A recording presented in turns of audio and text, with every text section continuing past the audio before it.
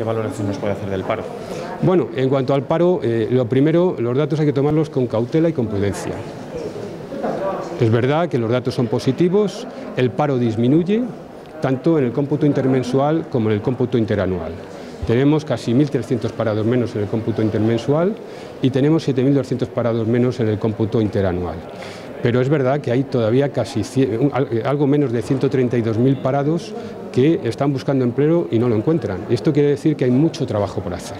Y eso es lo que hemos venido, a intentar que a través de un mayor liderazgo industrial, llegando a ese 20% de la industria en el peso del PIB, eh, creando empleos de calidad. Y cuando hablo de empleos de calidad estoy hablando empleos con mayúsculas, estoy hablando empleos que se basen en el conocimiento, en las capacidades y en las competencias. Y eso lo tenemos que aportar desde esta consejería, desde la consejería que va a liderar las políticas industriales y las políticas de empleo y va a asociar el tejido productivo a las políticas de formación y a las políticas eh, de inserción laboral.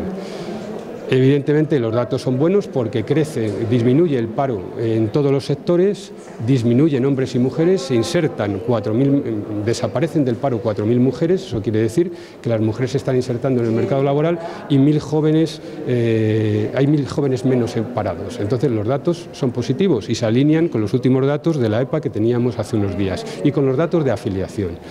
Recuerden ustedes que en EPA era la mayor subida de activos desde eh, que tenemos esta serie histórica, desde el año 2002 desde hace muchísimos años. Y en cómputos intermensuales llevamos ya 66 meses de descenso del paro.